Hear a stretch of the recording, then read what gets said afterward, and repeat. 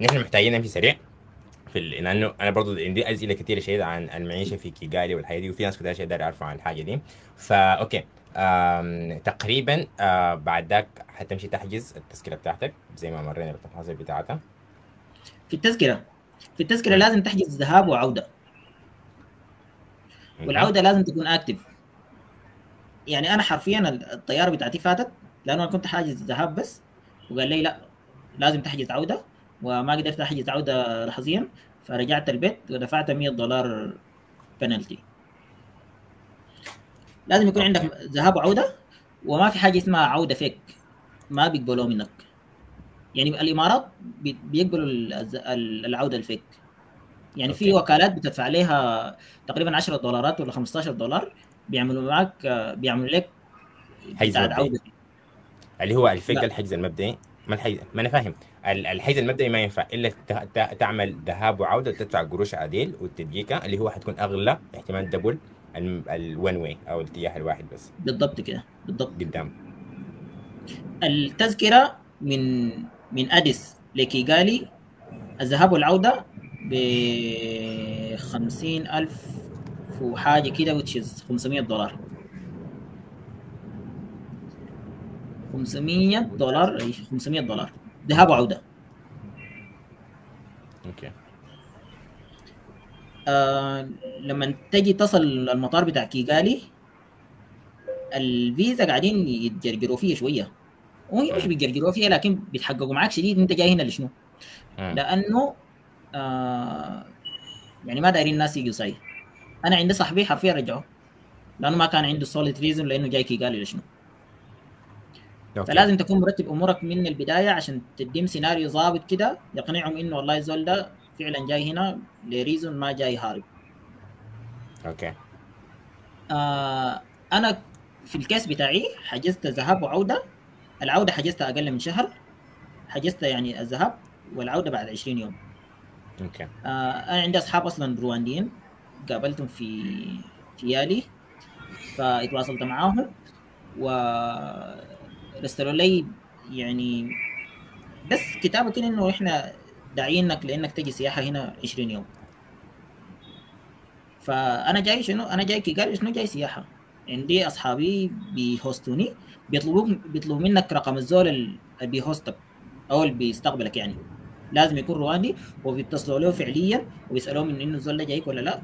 جايك بعد ده تمام. لازم يكون عندك لازم يكون عارف إنك أنت حتنزل وين لأنه برضه حيسالوك حتنزل وين. آه إذا نازل في الفندق بيقول لك عايزين العنوان بتاع الفندق وعايزين الرقم بتاع الزول في الفندق بتاع ال reception ولا هناي وحيتصلوا على ال reception وحيسالوا إنه عندكم حجز بالاسم الفلاني ولا لا. الناس دول جادين شديد عرفت؟ ما بيهزروا. فأنت لازم تكون مظبط أمورك دي كلها يكون عندك زول هناك بتعرفه متواصل معاه مرسل لك دعوة لحاجة إنت عايز تعملها. يكون عندك آه عارف عنوان بتاع فندق وحاجز عنده عشان يتصل عليك. فندق أو guest house أو أي حاجة المهم. السيناريو ده بس كله عشان تقنعهم إنه أنت جاي لسبب وراجع طوالي ما ما جاي تسوي هنا. أوكي تمام شيء أخيرة. تمام شيء بس نقطة أخيرة في النقطة دي لأنه أعتقد أصعب حاجة ممكن تكون في النقطة دي اللي هي إنه كونك تلقى لك زول هناك. to host you ولا يقول إنه الزول جاي معي ولا كده إذا في زول داير يمشي رواندا هل ممكن ناخذ مثلا هل أنت ممكن تفيده يعني مثلا تشوف زول هناك أو أو مثلا تساعده في إنه يلقى له زول ولا حتكون صعبة برضه عليك؟ لا هو ال هو ال الزول اللي هتلقاه اللي حتلقاه ده لشنو؟ عشان ي justify إن الزول ده جاي لشنو؟ yes يعني أنت ممكن عادي ما ما تلقى زول سوداني أو ما تلقى زول أصلا رواندي ويكون عندك solid reason لأنك أنت جاي والله سياحة آه business أي حاجة. سياحة. سياحة. لكن لازم تخت السيناريو كله فهمت؟ لأنه بيسألوك حرفيا أنت سياحة جاي تمشي تزور يا تو حديقة مثلا أو ماشي تزور أي محل في كيغالي والمحل ده سعره كم؟ أنت فتشت عنه في النت ولا لأ؟ فهمت؟ يعني ما بس تقطع من راسك أنا زميلي اللي رجعوه ده قال جاي كورس تمام؟ قال له الكورس آه اسمه شنو؟ مدته شنو؟ والمؤسسة القايمة بالكورس. وين ال invitation letter بتاعت الكورس؟ انت سجلته فيه ولا ما سجلته؟ لما زنقوه كده وهو ما كان مجهز السيناريو عرفوا إنه ده كله كلام fake فقال له ما بنديك الفيزا ببساطة. أوكي. تمام شيء طيب ظابط أنا عارف إن التفاصيل دي كلها مهمة بالنسبة للناس. وما داير يعني كده أمر عليها سريعا. أنا عارف إنه في أي نقطة فيها تفاصيل كثيرة ومحمد بن جربتها في بالتالي حيكون في تفاصيل أكثر. لكن طيب خليني حسي نوقف هنا اللي هو حسي هنا في المطار بتاع كيغالي لسه يعني بعد المعيشة والحياة دي في كيغالي صح؟ فبرضه الناس تنتبه لإنه الموضوع بتاع الفيزا محتاج شنو؟ أنت السبب بتاعك هناك والحاجات دي كلها. دي لازم تجهزها. أوكي كويس آه في آه عبد الحميد كان عنده بس إضافة داير يضيفها سريع. الحاجة دي ما أعرف عبد الحميد إذا سامعني ولا لا. انت تقريبا عامل ميوت آه. وقافل الفيديو الاثنين أيوه إزيكم؟ كيفك؟ تمام؟ الحمد لله. آه سامعني كويس صح؟ أيوه. أنا سامع كويس. إزيكم يا شباب؟ مؤيد محمد. شكرا لك يا محمد. إزيك يا مؤيد؟ طيب آه أنا بس في قبل سألت سؤال. أنت لمحمد. أنا ما أعرف هو هو جبتين أو أو عبر بتين القضارف أنا عبرت قبل ثلاثة أسابيع. فبس في تغيير بسيط في بعض التفاصيل بس حاعدل شوية وبعد ذاك ممكن تواصل يا أحمد طبعا اللي هي كان انت من موضوع تمديد الجواز هل مقبول ولا ما مقبول؟ آه انت إذا عايز تطلع بالجلابات المفروض تمدد في القضارف يعني تمديد مدني ما مقبول منك لأنه تمديد مدني بالعربي ختم بتاعهم بالعربي. فتمديد القضارف هو المقبول جست يعني حتى في زول مدني كان داري يعمل الفحص الأمني فقمت سألته قلت له أنت عندك ممدد مدني بس قال لي قلت له يا أخي ما حيقبلوا منك. أفضل هسه تعمل طوالي هنا طوالي تمدد في في في القضارف عشان حيرجعوك وفي ناس قبل كده رجعوني ففعلا قام سأل الضابط قال له أيوه ما, حتمشي ما لم تمدد من القضارف. فمدد من القضارف لأنه الختم فيه عربي وإنجليزي وأكيد ما كل الدول بتعرف العربي يعني. فالتمديد سعره ب 31000 اخر حاجة. آه، الفحص الأمني تقريبا عامل 11 ونص كان 5 ونص يعمل 11 ونص. إضافة الإبن في الجواز. لو عندك إبن ما عنده جواز بتعمل له إضافة في الجواز ب 21000 بيضيف في الجواز امه طوالي فما بيكون في مشكلة. لكن زادوا الاسعار دائما الاسعار ماشيه زيادة. الفحص الامني صح كان بخمسه لكن الكلام ده قبل العيد وبعد العيد عمل عمل عمل 11 مثلا لي ثلاثة اسابيع فما أعرف هسه هل هو زاد ولا ما زاد. فدي برضه الناس تنتبه انه الاسعار باستمرار هي بتتغير يعني. فما ثابته يعني. بالإضافة للحايس اللي كان من جندر من من المتمة لحد جندر بألف تقريبا حصل 1000 ونص. أنا ما أعرف هل دي عشان أيام العيد ولا دي أيام عادية لكن عموما حصل 1000 ونص. تمام؟ تقول بس بعض التقديرات تمديد الجواز مقبول ما في مشكلة. يعني يعني اثيوبيا بتقبل ما أعرف يابان هنا بتقبل برضه ما أعرف باقي الدول الثانية بتقبل ما برضه بتقبل تقريبا. بالوقت. آه اللي هو بيختم يعني. فده مقبول ما في مشكلة. آه في اوفر كده ظابط لو انت عايز تسافر عبر الخطوط الاثيوبيه آه اللي هو في مطار جندل بتقطع أول حاجة إنك عندك تذكرة انترناشونال يعني خارج دولة بتاعت أثيوبيا مش أي دولة ثانية بتقطع تذكره الأول. بعدين حتيجي تقطع تذكرة من جندر لاديس بتكون بنص القيمه يعني تقريبا ب 4000 بر 4000 بر تقريبا تعادل لها كم 20 يعني فده offer برضه الناس ممكن تستفيد منه لأنه في ناس كتار استفادوا منه من واحد من الناس برضه ال offer الجواليه بعدين تقطع من جندر لاديس هم عندهم حوالي ستة رحلات في اليوم أو سبع رحلات تقريبا. لحد الساعة 5 أو لحد الساعة 7 بتتغير باستمرار لكن عندهم زي سبعة ثمانية رحلات يوميا. من بكر لأديس أبابا فعموما دي الحياة اللي حبيت أوضحها أنا سمعتها قبل شوية طيب يا أحمد أنا ممكن عندي إضافة صغيرة هنا. يس طوالي. آه أنا بفتكر في إنه طريقة أسهل للسفر يعني. أنا صحيح يعني من قبل الحرب برا السودان آه فما أعرف طريقة الطلعه الحقيقي للناس في الأرض كيف. لكن إذا الناس آه قدرت تصل بور السودان فهي أسهل خيار لأنك تصل شرق أفريقيا عموما يعني. باعتبار إنه طيران تاركو فتح آه يعني طيران مباشر ما بين بور السودان ل لمطار عنتبي في في أوغندا. فهنا أنت بتقلل التكاليف بتاعتك من السودان لحد أثيوبيا من أثيوبيا ثاني لحد أي دولة أنت ماشيها. فمباشرة من بور السودان ممكن تصل مطار عنتبي في أوغندا وتاخذ تأشيرة East Africa اللي هي ب 100 دولار تقريبا. عند الوصول. فمن هناك تركب البص البص من يوغندا لكينيا ب 25 دولار ومن من يوغندا لحد رواندا تقريبا 50 دولار أو كم 40 دولار يعني. فأنت هنا بتقلل التكاليف آه بتقلل التعب بتاعك لكن ممكن شوية يزيد لك في التكاليف. باعتبار إنك حتاخد فيزا أغلى شوية ب 100 دولار من 50 دولار. اللي هي ب 100 دولار ثلاثة شهور بتدخلك ثلاثة دول اللي هي يوغندا وكينيا ورواندا لمدة ثلاثة أشهر تنزانيا آه بتزيد لك التكاليف بتاعت البص في إنك بتاخد بص ل 8 ساعات أو 9 ساعات أو 10 ساعات يعني ما بين يوغندا و... وكينيا أو يوغندا ورواندا يعني. فده خيار أسهل شديد زائد إنه يوغندا بتقبل الجواز الممدد. يوغندا بتقبل الجواز المنتهي ممدد بالاستيكر وبسطريات تقريبا يعني. وبتقبل الجواز اللي فيه الاضافات برضه معاك الأطفال. فدي ليه إنه ممكن طريقه الطلعة تكون إلا بأثيوبيا والطريق بتاع إنك تبيت يومين ثلاثة في الشارع يعني. ليه الناس ما فكرت؟ بس في سؤال هنا برضه تفضل يا سعر التذكرة من السودان لغاية يوغندا بكم؟ بتاكل آه about آه يعني ما أقل من 400 دولار تقريبا لا لا 1000 دولار على فكرة 900 لا. دولار لا، وسيزارت. عملت 1000 دولار آه 300 ألف دي كم يعني تقريبا أنا قريت إنها 300 ألف ما لا لا 300. زادت زادت آه 300. ممكن الناس تتأكد من لكن تشوف الخيار ده برضو الخيار ده حتى لو بيزيد لك التكاليف فهو بقلل لك التعب يعني فأنت شوف خيار الخيار ده برضو إنه بكلفك كم من بورسودان ليوغندا ما بيحتاج منك أي حاجة لا فحص أمني لا آه، زول ينتظرك هناك لا حجوزات لا one way ما بتقطع two ways يعني. أنا بتكلم عن one way ب 400 أو 450 دولار يعني.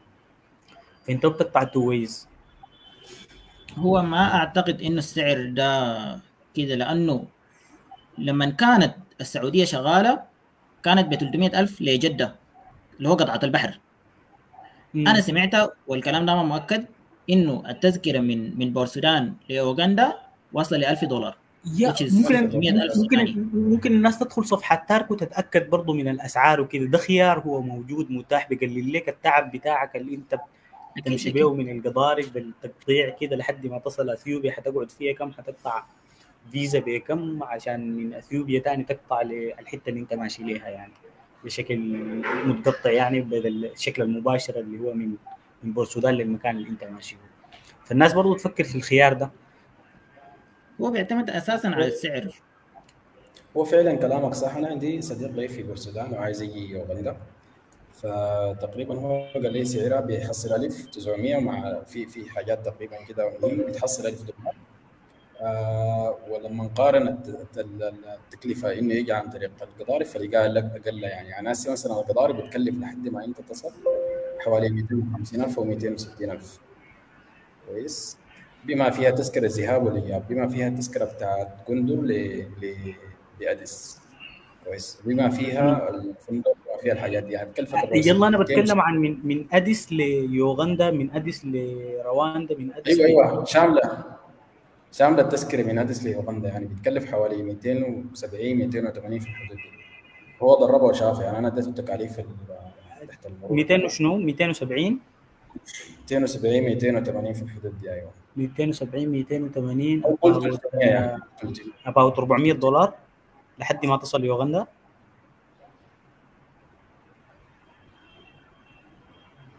كم؟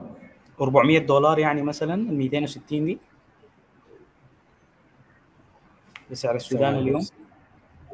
ثواني بس طبعا أنا قاعد مشيت الموقع بتاع بتاع بتاع تاركو ده عشان أشوف ال ال البتاع بكم عشان يعني كده يصل لل- للحد بتاعها لكن المشكلة إنه قدر ما أخذ بحث بيقوم بيديني إنه ما في لا عذرا لا توجد شوف. صفحتهم في الفيسبوك هم بنزلوا فيها تحديثات على الدوام خشيت. الصفحة بتاعتهم لكن ما بتلقى فيها سعر كاتبين إنه في أوغندا كده ال... ال... الفيزا ب 50 أو 50 دولار دي ب كده 900 900 دولار 900 دولار مشي 900 وعودة ولا. مشي بس؟ والله بس ما متأكد منه ماشي عاد ولا لا. okay ما في 900 مشكلة دولار. 900 دولار تمام. خلينا ناخدها 900 دولار آم طيب تمام. أنا أنا أعتقد إنه ده خيار ممكن يكون كويس للناس اللي هي دايرة حاجة واضحة شديد. يعني straightforward thinking تمشي بور السودان تحجز يوغندا شكرا جزيلا تنزل انتهينا. من يوغندا تمشي وجهتك تقطع التأشيرة بتاعت East Africa ب 100 دولار يعني. okay ده خيار كويس. في الخيار الثاني اللي هو أنا حفترض إنه حيكون أرخص لكن متعب وفيه كمية من المجاهيل. آه اللي هو من خلال من خلال آه اسمه شنو ربي؟ من خلال الجلابات والجماعة دي. أنا كأحمد إذا سألتني أنت عندك القروش اللي بتخليك إنك تسافر من من بورسودان سافر من بورسودان طوالي ولا تفكر مع ال مع الكمية الحياة اللي بتحصل دي. دي أنا خياري من خيار غالب بالمناسبه وارخص شديد لكن برضه مخاطر مصر. لا ما مصر طبعا. كويس. هي انك انك إنك من السودان تصل كوستي من كوستي تقطع جودة تمشي الرنك جنوب السودان من غير أي تأشيرة من غير أي ورق مطلوب. آه من الرنك تمشي تصل جوبا بتذكرة 250 و 300 دولار. من جوبا تصل ب 25 دولار بس لحد آه يوغندا. ده أنا في ناس أنا بعرف ناس عملوا الحاجة دي يعني وصلوا حاليا قاعدين في يوغندا. ممكن تركب طيارة من جوبا لحد يوغندا. دي برضه خيار. هو فعلا ده خيار وأنا برضو عندي ناس سافروا لكن الطريق داك ما آمن وتكلفته برضو عالية لأنه جوبا غالي شديد. لكن أعتقد إنه نحن أخذنا زمن طويل جدا نحن ندرس الخيوط للناس إنه في كم طريقة إنك ممكن تطلع بيها. نمشي نشوف بعد ذاك حاجات ثانية برضه عشان أنا برضو يا أحمد حاستأذنك بعد أقل من ساعة يعني okay. من الالتزام تمام طيب okay معناته خلينا ندي كله كله كله كله topic حاجة بتاعت خمس دقائق خمس دقائق خمس دقائق بالنسبة لكل زي دينا بس الخلاصه بتاعته okay. ونشوف okay آه طيب. بس ده اسال آه عبد الحميد أنت حاليا في أوغندا؟ أيوه نعم أنا في أوغندا أنت وين في أوغندا حاليا؟ كيساسي فين؟ كيساسي. كيساسي. okay. okay تمام شيء. طيب أول حاجة عبد الحميد خمسة دقائق معك آه تورينا السفر مع الأهل. لأنه نحن هنا تكلمنا عن سفري وأنت براك اللي هو كلنا كشباب. لكن لما تكون أنت معك أهلك وزوجتك وأولادك وكده الحاجة دي الإضافات شنو بتكون موجودة؟ آخر حاجة الحاجة دي شنو؟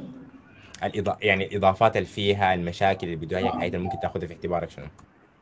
وصح فعلا مؤيد يعني كلامه إنه يعني الرحلة عبر القضارف وأديس عفوا المتمة وجندر هي رحلة طويلة. يعني أنت قد تصل في يومين بدل تصل في يوم واحد. آه بس بتبقى الفرق بتاع بتاع المبلغ في نفس الوقت أنت يعني يعني مثلا مثلا أنت عايز تمشي أي دولة ثانية كويس. آه لازم لازم تكون اخذت حساباتك المالية للحاجة دي. إذا أنت بتقدر تعمل حاجة دي بأقل تكلفة في نفس الوقت إحنا عشان جينا بعد العيد طوالي فما كان عندنا مشكلة.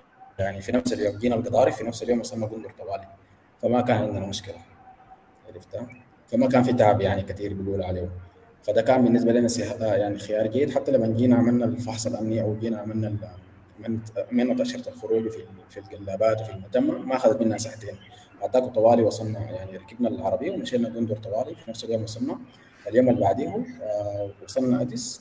بعد ذاك آه الناس يعني اختلفت وجهاتها حسب الناس اللي ماشية عمان ماشي مصير ماشي ماشي اوغندا ماشي كذا.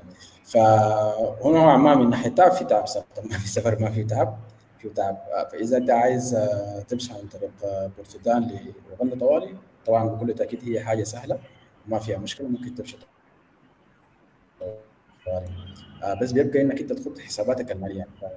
أنت أنت تاخذ خيارين بعدك. تشوف أنت بالنسبة لك الحاجة المفضلة شنو اللي تعملها بالإضافة لأنه تقريبا بالسودان ما بتقدر تأخذ غير 30 كيلو معك لو برضه حط الحاجة دي في بالك. إنه القفص بتاعك أو الشنطة بتاعتك المفروض ما تتجاوز 30 كيلو. وعندك 7 كيلو في يدك. عكس لما تكون ماشي من اديس لاوغندا عندك حوالي 40 كيلو.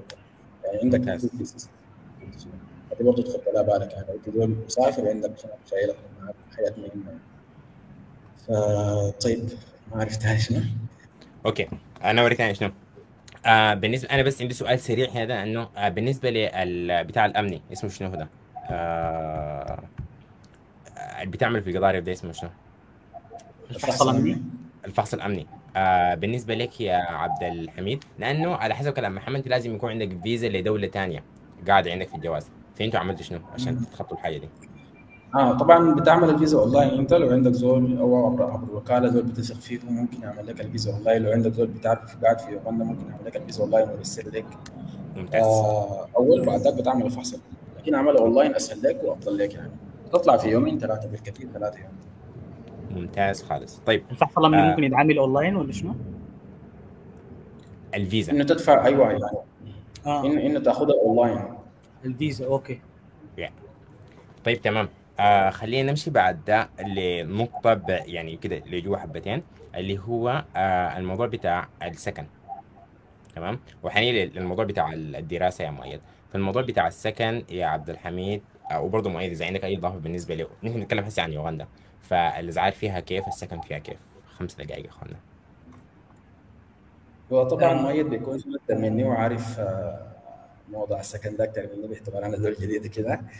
أنا تجربتي والله يا عبد الحميد ما قريبة يعني يعني about أكثر من خمس سنوات لكن سنويا قاعد أعمل update حتى يوم الليلة ذات وأنا دخلت عملت update للحاجات للأسعار فمخلوع جدا من ثبات الأسعار. إنه أنا طلعت 2017 شهري 5 و4 من يوغندا. آه خليت الدولار ب 3 شيلينج point 60 دخلت الليلة لقيت 3 شيلينج point 60 point fractions كده كمية يعني. مخلوع من الثبات ال- بتاع. الأسعار. يا. انت ما في يوغندا حاليا يعني؟ آه، أنا حاليا برا يوغندا لكن كنت مخطط أجي وإذا طلعت من المكان اللي أنا فيه اكشول التأشيرة ما حيدوني لها تاني وإقامتي منتهية وقصص كثيرة جدا. فقاعد هنا بعمل في اجراءات الاقامه والقصص دي عشان أقدر آه، أطلع وأجي راجع. يعني حتى لو الاقامه على نهاية سنة باعتبار إنه أنا خلصت سنة دراسية هنا حاليا فحتى لو ادوني إقامة حيدوني لها مدة ثلاثة شهور لحد شهر 11 السنة الجديدة الاقامات حتبدأ ثاني. فإذا طلعت. من هنا ما حقدر أجي كنت مخطط خطة كاملة هناك يعني. لكن آه بعرف يوغندا كويس جدا وتجربتي فيها كانت مع يعني كافية جدا من المعلومات